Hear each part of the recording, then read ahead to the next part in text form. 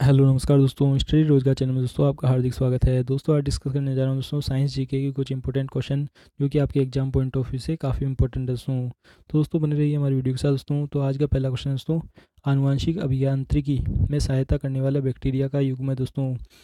तो agro bacterium व इरिश्चियरिया है दोस्तों, आनुवंशिक अभियांत्रिकी में सहायता करने वाला बैक्टीरिया दोस्तों। नेक्स्ट क्वेश्चन दोस्तों प्लेजमिड है दोस्तों। तो प्लेजमिड क्या है दोस्तों? बैक्टीरियो फ़ेज़ है दोस्तों प्लेजमिड नेक्स्ट क्वेश्चन दोस्तों, एक पादप कोशिका में संपूर्ण पादप के विकास की क्षमता पाई जाती है। यह लक्षण शक्ति है दोस्तों। तो ये पूर्ण शक्तता का उदाहरण है दोस्तों। पादप कोशिका के अंदर संपूर्ण पादप को विकसित करने की क्षमता पाई जाती है दोस्तों। नेक्स्ट क्वेश्चन की बात करते हो तो हमारा नेक्स्ट क्वेश्चन दोस्तों।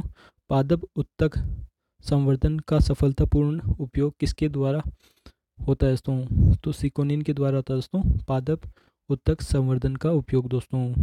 नेक्स्ट क्वेश्चन दोस्तों, कवक द्वारा स्टेराइड प्राप्त करने की प्रथम जानकारी देने वाला वैज्ञानिक का क्या नाम है दोस्तों?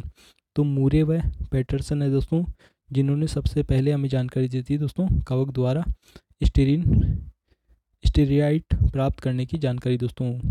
नेक्स्ट क्वेश्चन दोस्तों, आजकल जंतु कोशिका संवर्धन तकनीकी, एनिमल सेल कल्चर टेक्नोलॉजी का सर्वाधिक उपयोग हेतु क्यूसन निर्माण होता है दोस्तों। तो इसके द्वारा क्या निर्माण होता है दोस्तों? क्यूसन का निर्माण होता है दोस्तों।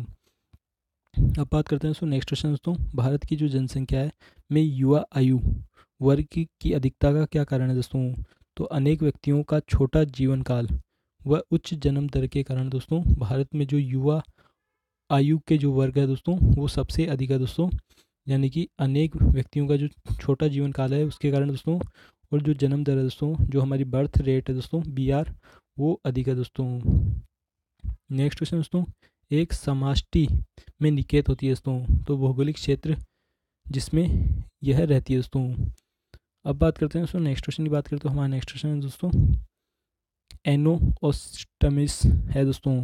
तो भ्रूण की एक कोशिका को बाहर निकालना है दोस्तों, एनियोस्टोनिसिस। नेक्स्ट क्वेश्चन दोस्तों, अप्रोमियम ओपिएट हीरोइन प्राप्त की जाती है दोस्तों तो कैनाबिस सटाइवा से प्राप्त की जाती है दोस्तों, अप्रोपियम, अपोएट और हीरोइन।